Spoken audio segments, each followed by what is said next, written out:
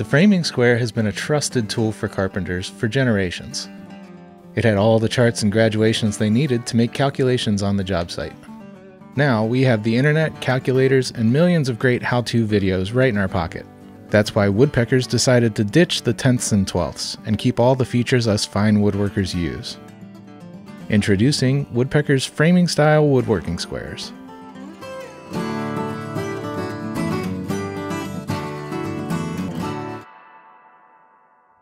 The 2418 and 129 woodworking squares are precision milled from solid stainless steel.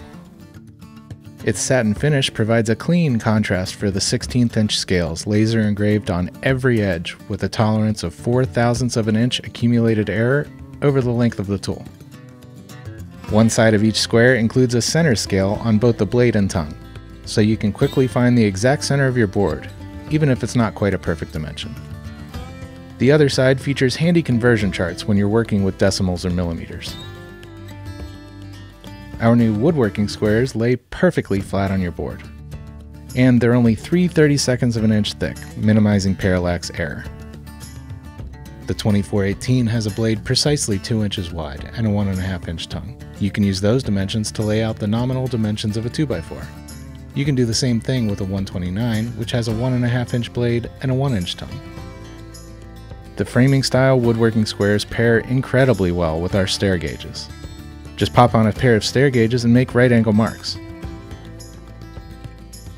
Just make sure the stair gauges are fully seated.